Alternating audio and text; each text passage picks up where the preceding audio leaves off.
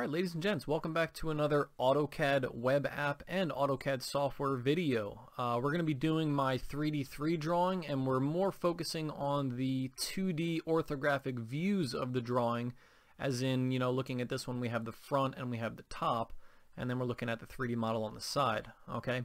Um, so what we're going to do is we're going to start drawing these views. We'll talk about how they line up with each other and then what these different lines are and then we'll be done, alright? Maybe a little 3D modeling at the end. Um, so here we go.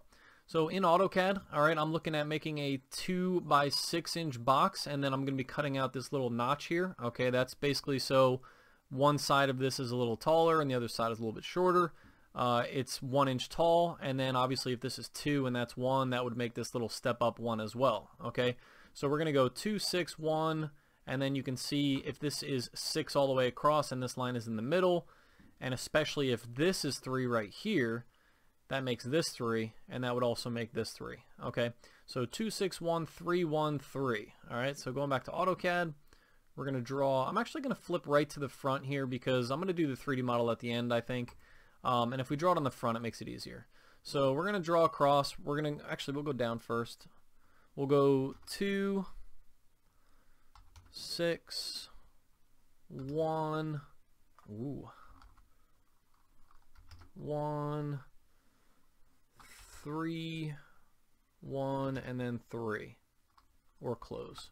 All right, so we get something like that. So that view is actually already done, uh, except for doing the hidden lines, okay? And we'll talk about that in a second. Uh, top view, the left, left side is going to line up, the right side is going to line up, the step down is going to give you this and this, and you can see that this top face here actually goes back through these two. So even though this one and this one are higher up, they're taller, and this one is shorter or lower down, it'll still look flat in the 2D views. Okay, so you can see that this is a 3 by 6. All right, so what I'm going to do first is take my offset tool. I'm going to measure 1 between my views. I'm going to stretch this out, and again, I could go like this and slide up. All right, that gives me something like that. Make sure F10 is on, otherwise that won't work. Um, now I'm going to take a line. I'm going to go from here. I'll go 3. I'll come across, I'll go 6, and then I'll come back down. So that's the basic shape of that view, okay, that top view. Uh, you will have this line, again, F10 has to be on to do this, slide, and then you'll see an intersection. Well, actually, in that case, we got a midpoint, that's fine. Um, but just make sure that in OS enter that you have endpoint, midpoint, center, and intersection turned on. Those are the important ones for my drawings, all right? So I can take this, I can slide up, click, and go across uh, these pieces up top here, if this is 3 inches and these two are 1 inch, that makes the middle one 1 as well. So I'm going to do an offset of 1, 1, and then I should be left with 1 at the end. So offset tool, 1, enter, do that twice, trim what I don't need. I don't need that, that, and that. So now I'm at this point. All right. The last thing to do here is just this part over here which is again uh, one inch over. So if you want, you can do that offset again, or you could slide up off this corner and do one enter. That'll measure one inch over. And then I don't know how far this goes yet, so I'm just going to draw it out to about there. Um, but again, I'm going to go on this corner. I'm going to slide down on that F10 polar line. And before I click or do anything else, if I do one enter, you'll see that as it's as you're sliding, it's measuring up. It's counting up. You can see it happening right now as it counts up, you can just type your number or your distance and hit enter and it will go that far. Okay, so again, I'm just going to go like this for now. All right. Uh, now, as far as how far in that indent goes, that's two inches. So technically, if I knew that ahead of time, I could have just typed 2 enter and that would have gotten me to where I wanted to go. But in this case, since I didn't do that yet, I'm going to do an offset of 2 off of here. And then I'll trim what I don't need and I also don't need this opening okay or I do need the opening so I got to trim that part there. Um, and then I got to do some chamfers okay? So you're gonna have a chamfer which is gonna use a distance of one fourth and one fourth there's two chamfer distances. What that means is that from the corner which would be right where my cursor is it'll measure one fourth over and one fourth down and then it will connect them. Same thing here. From the point of my mouse cursor one fourth up and one fourth over and it will connect the two so we go to chamfer, C-H-A-M-F-E-R, hit distance, and do one fourth for the first distance, one fourth for the second distance. And we go one, two, just like when we're doing fillet. And then I hit spacebar, brings me back in, one, two. All right, so we get something like this. So now if you're one of my students, you're putting dimensions on this, right? Uh, but we got to do our hidden lines and center lines and then we're done with these views. So I'm going to draw a dummy line. Well, it's not really a dummy line, but I'm going to draw a line here that I'm going to change into a hidden line and I'll explain why in a second. Um, I'm going to bring this down. That's going to give me a line there. And I'm going to bring this down. What you're doing is you're describing what's happening in here in the other view. Without those two lines, it looks like it would just be, or without those three lines, it would look like it would just be an L shape all the way back, but it's not because there's a void missing here and there's a void missing here. So we need to describe that uh, basically, you know, in these views, okay, between each other. So now if I have a line coming off of here, I'm showing how deep that's going, right? So this we can change to a hidden line. So let me go back to my 2D tools here, drafting an annotation. Go to my line type. Again, I have to reload them because I never saved that drawing from before. So again, we go to line type, other, load, and then scroll down until you see center to the 0.5x, and then load again, and find hidden to 0.5x. Alright, so these two are going to be hidden lines. And this one's going to be a hidden line. Uh, these two, they're describing how far back that cut is, okay? And you can see this in the 3D model as well. How far back it goes is giving you this line, and that's coming across and then going down here. So that's a hidden line right there. But I also have to show all of the different uh, edges that you can't see from that view. I can't see any of these edges over here. So I'm showing that one, and then I'm also showing where this bends right here, this bend. This part would come over and then go down and that would be a hidden line as well and that's why you have two. Where it bends okay which it starts here which we already have and then it bends to here. This corner bring that down and that's how you get this one okay? A lot of times my students will draw this they'll have the lines there but they won't be lined up correctly. Make sure that they're lined up correctly otherwise they're not right all right?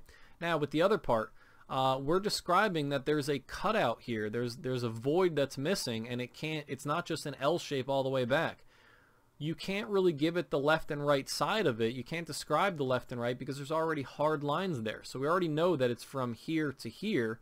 We just need to know how deep it goes, which is going to be this. And because this shelf is flat with this and that there's no line here or no drop off or step up or anything like that, you're just going to have a line showing the very bottom and it's going to be even with this surface right here, this line. Okay, so let's go back for a second. Um, and that's pretty much it for the views, all right? If you're my students, again, you're putting uh, dimensions on here, and that's it, all right? So now with the 3D model, what I'm going to do is I'm going to simply, I'm actually going to use the top view of this one. I think it's easier to draw it this way. So I'm going to erase this one, um, which makes it funny because I changed to, you know what, let's leave it. We changed to front already, so let's just go with the front view, okay? And you can get rid of these. You don't need those anymore. Uh, we're going to select all of these and type join. And I'll do this a little faster because I know some people are only looking for the orthographic views here and they're not really looking for the 3D models as much. Um, but, you know, I'll go through it again even though I have a video like this already. All right. So looking at the bottom right corner here, I, I just reset my view back to top. I'm going to the bottom right corner and now it's standing tall. I already joined it and that join was a 1, 2, 3, 4, 5, 6 so it should have been a 6 to 1. So if I hit F2 right now, it'll show me my past uh, things within the command line. Uh, and you'll see that when I did the join, it became six objects found, six objects converted to one polyline. So that's what we want. All right. So now this becomes extruded.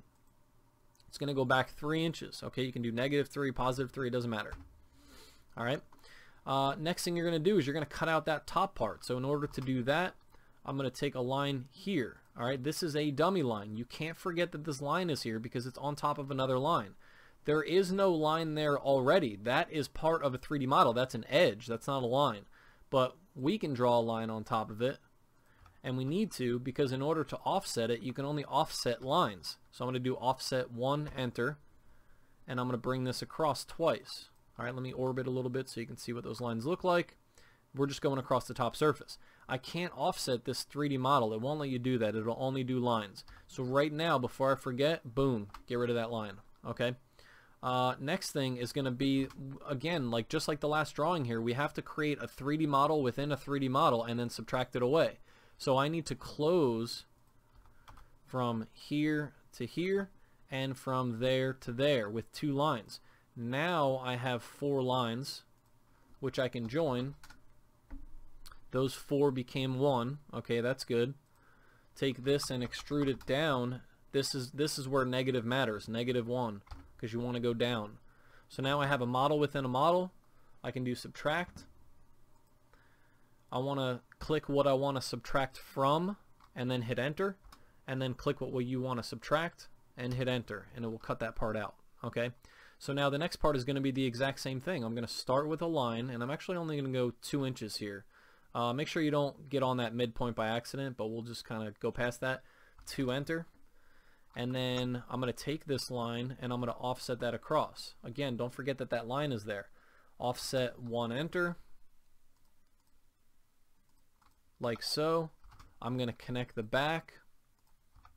I'm going to connect the front. And then I'm going to erase my original line that I created. And again I'm going to join this 4 to 1 that's good. This gets extruded down negative 1 because that surface is also 1 inch and then it gets subtracted away. Subtract what do I want to subtract from? Enter. What do I want to subtract? Enter. And it cuts that part out. The last thing we have to do here is the chamfer. Now that we, now we could have done the chamfer before, a 2D chamfer by just doing chamfer, distance, 1 fourth, 1 fourth, enter, and then clicking the two lines, and then clicking the two lines. But I didn't do it that way. I made a box first, which means that now I have these edges that I have to chamfer. So that tool, just like fillet became fillet edge when it, you know, becomes a 3D, um, a 3D tool, this will be chamfer edge okay and what I'll do is I'll still hit distance I'll go one fourth for the first distance one fourth for the second distance and I won't click the lines I will click the edge one two you can see the fence look it looks good so you hit enter twice and it saves it like that alright uh, if you're one of my students and you're doing 3D modeling probably later in the year when we can you're gonna go back to top you're going to go to the bottom right corner. We have to reset our view every time we orbit. If we're going to orbit around and look at it, you know, if we're going to change it to conceptual and, and look at it on the screen, we need to go back to 2D wireframe, back to the top, and then the bottom right corner. And then we would actually go to hidden when we go to print it. Okay, and throw our name on there and all that good stuff. All right. So listen, I appreciate you guys watching. This was the 3D3 orthographic views drawing and then a little bit of 3D modeling at the end and I will see you guys in the next one. Later.